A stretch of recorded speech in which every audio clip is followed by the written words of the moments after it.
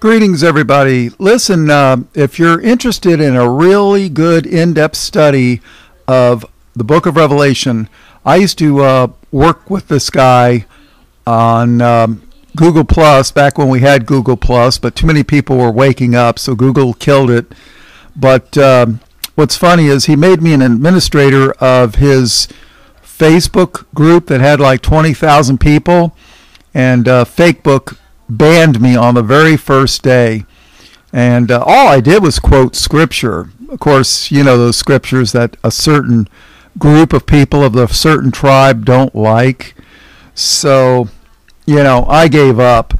And then they got rid of Google Plus. So uh, we kind of parted our separate ways, not because we were uh, at odds against each other or had any differences. No, that wasn't it at all.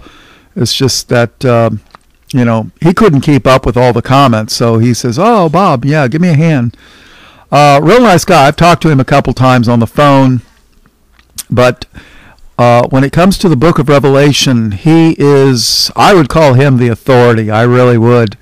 Uh, he compares it, shows you all the stuff in the Old Testament. Uh, does a really good job of tying it all together. I mean, I've got a fairly solid overview foundation of it, but when you really want to go digging deep into it, um, he's the one to take take a look at.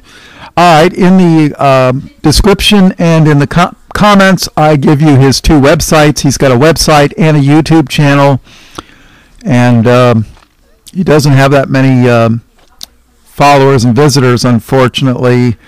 But that's the nature of the beast. Those of us that teach truth just don't have the large following. So, yeah, it scares me when somebody's got uh, hundreds of thousands of followers and uh, millions of views on their channel. I just, you know, why would YouTube or Fakebook or whoever let you stay up? So, all right. Um, all blessings, praise, glory, and honor to Jesus and God the Father. In Jesus' name, amen.